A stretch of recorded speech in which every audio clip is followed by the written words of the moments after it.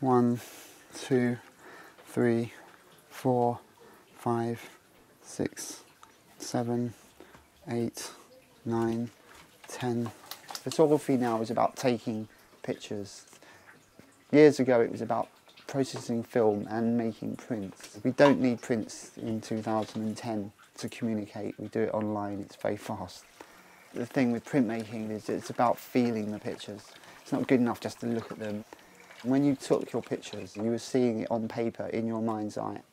My father introduced me to photography and to printing when I was about 10 years old. He built a darkroom. It had a door with a lock and it was a private place. I could get away from the, from, from the family and just spend hours on my own making prints. I moved to London in the mid-90s and started working as a photographer. So I did a course in colour printing and started printing at a place called Photo Fusion, which is a hire darkroom in Brixton. Back then it was incredibly busy. Lots of young photographers shooting for Dazed and Confused, ID, and then printing their own work.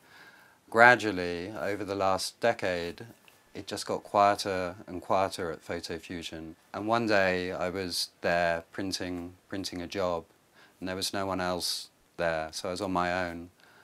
That was in uh, summer 2006. I just glanced at my enlarger, it caught my eye, and suddenly I thought, this is interesting, this machinery is not going to be around for so much longer. I decided that I wanted to do a photographic project about enlargers and about printing. This darkroom is Roy Snell's darkroom. It's in the basement, it's in the cellar of his home. It looks different from many of the other darkrooms I photographed photographers are out there in the real world battling against all the forces to try and get a life and take great pictures. So they'd all come back here. I mean, this cellar used to rock. We had a big fat stereo and it used to rock 24-7. I always encourage my clients to work with me. Often you do a print for a photographer and they put, put it in the bag and send it off, whereas you give a print to an artist, they pin it on the wall and think, now where can I go with this? I was interested in professional or commercial darkrooms because these were spaces where the printers would work day in, day out. They had dedicated their whole lives to printing. A lot of London labs were closing in quick succession. Sky went, Sita went, Team Photographic went.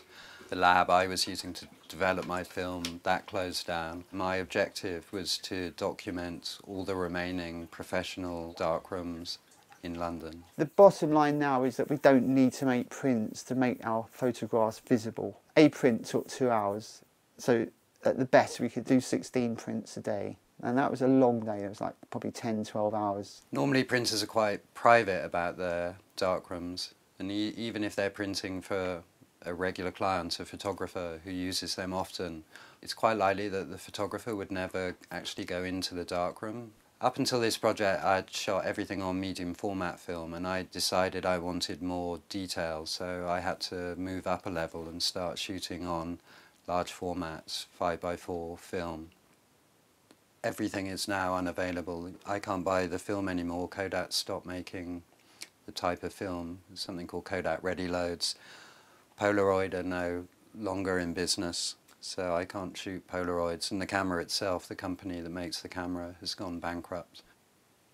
I'm not a Luddite. I have no problem with digital. The project was shot on film, it was scanned, and then it was output via a process that takes it back through chemistry. I think Roy has painted it this blue-green colour to counteract the redness of the of the safelight. And it all looks a, a little bit Heath Robinson this is where the printer stands and this is where the printer performs.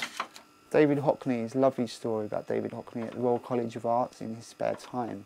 He gave painting classes and uh, the story, as I heard it, was he had a group of students that were out there on the lawn with their boards painting away and it was one week after another and it arrived at the point where on the last day David said, okay, we'll burn them all now.